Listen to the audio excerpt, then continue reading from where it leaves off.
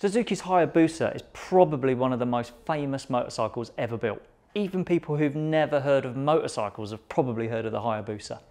The original Busa arrived just in time to see the end of the last century, and now 21 years into this century, it's back.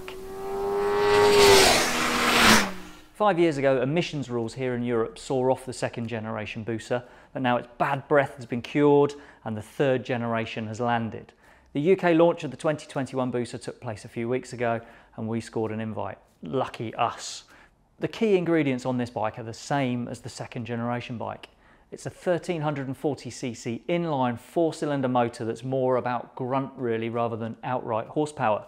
It's wrapped in an aluminium chassis that's been revised to make it more comfortable on the wrists. But the big changes really centre around electronics and rider aids. The second generation Busa, the one that fell foul of those emissions rules, had a list of rider aids that went all the way to one, ABS. Now that list is actually a list. You get power modes, traction control, anti-wheelie, engine braking control. There's a quick shifter that works up and down through the gearbox. You get launch control. Cruise control means you can set your speed at anything from 19 miles per hour to 124 miles per hour.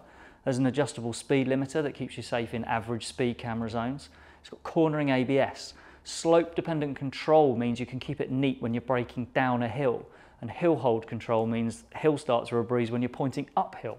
And if that's not enough, there's more. The hazard lights come on when you brake really hard. Low RPM assist means the revs rise by about 250 RPM to avoid stalling. Easy start means one press of the button will get the starter going until the engine fires up. And then there's a new dash that has all sorts of info to distract you from what's going on up ahead, including a lean angle display. The most I saw on the launch was 33 degrees, which is never going to threaten the MotoGP boys.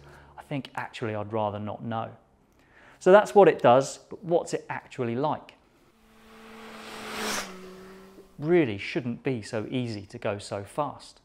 The Busa's 187 brake horsepower peak isn't a match for the latest big purebred sports bikes, which now top 200 horsepower, but it doesn't have to be. Its speed is built on a mountain of mid-range, not a skyscraper of revs. The Busa feels frisky, not frenzied.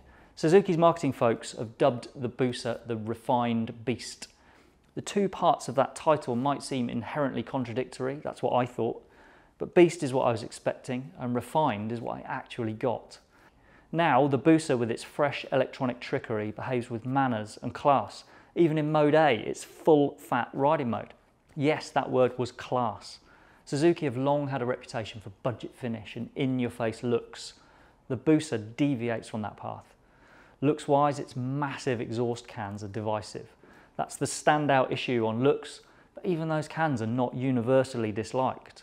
And overall, the design is sleeker than that beaky Gen 2 Busa. This bike is back to the kind of styling that put the original on so many bedroom walls. The big question really is whether the Busa is still relevant. But in this era of average speed cameras, congested roads and the growing success of the campaign for speeding to be seen as antisocial, I'd actually argue it's possibly more relevant than it's ever been. The UK government is saying sales of petrol and diesel vehicles will be banned by 2030. If you believe they'll go through with that, then you've got nine years left. So if a bike like this is something you've considered, then you might want to get on with it because it might not be long before a Busa can only be something you wished you'd owned.